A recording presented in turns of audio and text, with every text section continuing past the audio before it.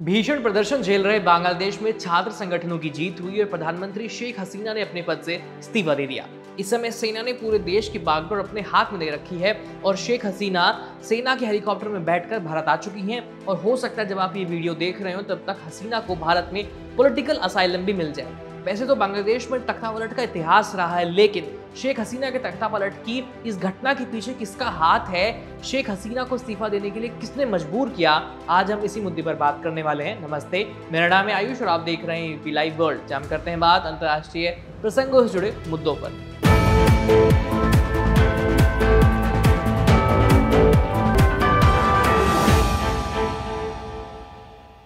पाकिस्तान हो या बांग्लादेश, दोनों ही देशों की सरकारों के कामकाज में सेना का अच्छा खासा दखल हमेशा से रहा है। और बांग्लादेश का तो जन्म ही पाकिस्तान से हुआ है।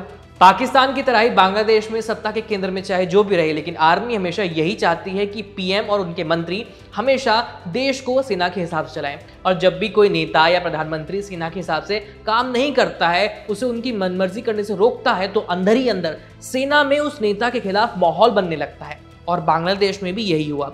इसी साल जनवरी में फिर से चुनाव जीतकर प्रधानमंत्री बनी थी शेख हसीना और इस चुनाव का विपक्षी पार्टियों ने बॉयकॉट किया था और बिना विपक्ष के शामिल हुए हसीना ने पूरे बहुमत से चुनाव तो जीत लिया। लेकिन तब तक वहाँ की आर्मी के अंदर अंदर खाते ही शेख हसीना के खिलाफ माहौल बन चुका था। लेकिन आर्मी खुलकर शेख हसीना के खिलाफ भी जाना नहीं चाहती थी, क्योंकि बांग्लादेश में अक्सर सेना पर जनता द्वारा चुनी गई सरकारों का तख्ता पलट करने का आरोप लगता रहा है। और इसी को ध्यान में रखते हुए इस बार सेना ने बगावत करने के बजाय सही मौके का इंतज़ार करना ठीक समझा।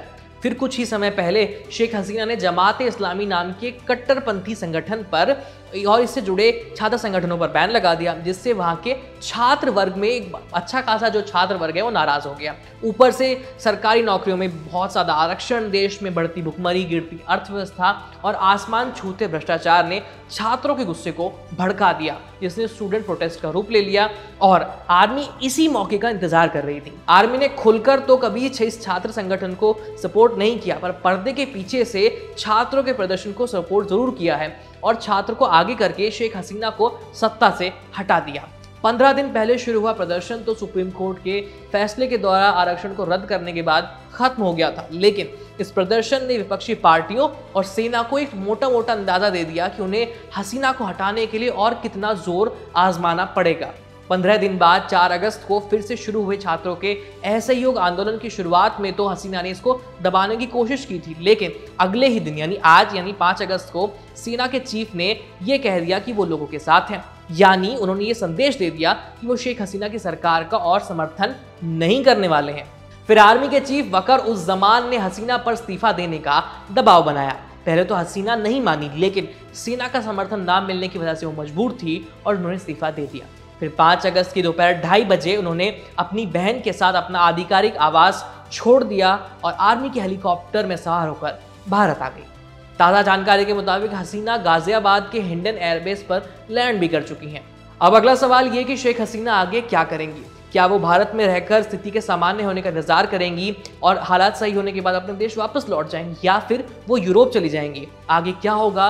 अभी हम कुछ ठीक ठीक कह नहीं सकते। सत्ता कब मिल जाए और कब छिन जाए इसका कुछ पता नहीं। जो शेख हसीना आज पाँच अगस्त की दोपहर ढाई बजे तक बांग्लादेश की प्रधानमंत्री थी वो अब बांग्लादेश की पूर्व प्रधानमंत्री बन चुकी हैं। बाकी बांग्लादेश के हालातों को भारत करीब से देख ही रहा है मॉनिटर कर रहा है और जो भी अपडेट्स होंगे आप लाते रहेंगे। देखते रहिए पी लाइव मेरा नाम है आयुष। धन्यवाद।